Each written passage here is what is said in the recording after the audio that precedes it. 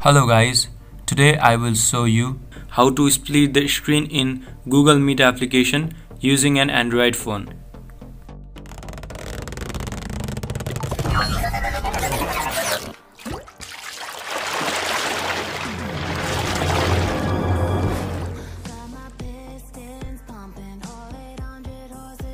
Before starting the video, please don't forget to subscribe the channel and press the bell icon so that you will never miss any update from my channel. So guys, as we all know, Google Meet app cannot be used in the double screen. We cannot split the screen while using Google Meet application in mobile phone.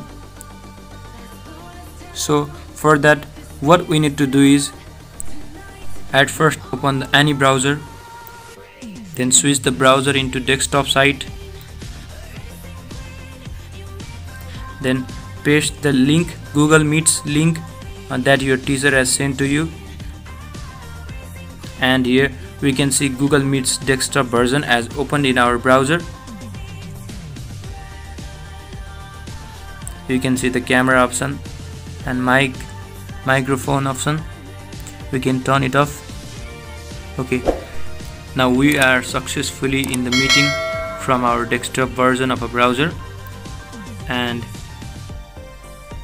so after joining the meeting we can easily split the screen by scrolling the three fingers up. And we can use any application in the dual screen.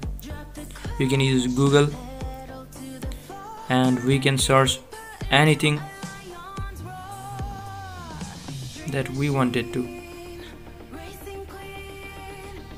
So in this way you guys can split the screen in the mobile phone using the any browser. And this is how we can cheat in examinations.